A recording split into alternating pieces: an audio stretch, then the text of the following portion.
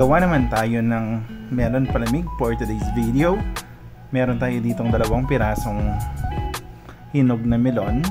Hinugasan lang natin, hiniwa at tinanggalan ng puto.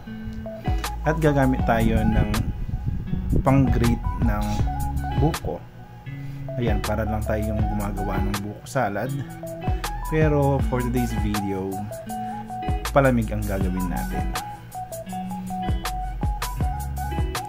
Tatapusin lang natin yung dalawang pirasong milon hanggang sa maubos yung apat na piraso. Ay, yung apat na piraso kasi ginawa natin dalawa. Huwag kayong ano, para kayong hindi grade 2. Huy! Hindi ka magaganyan-ganyan for today's video. Ayan.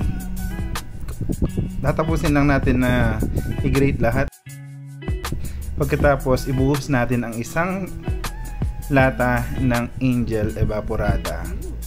Angel, baka naman, pagkalawin mo ang baso. Ayan, makaraan yan.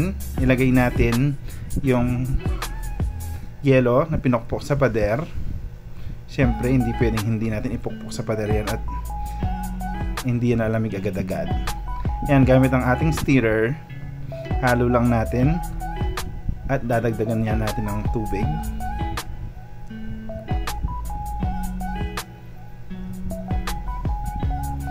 Ayan, halo lang ng halo.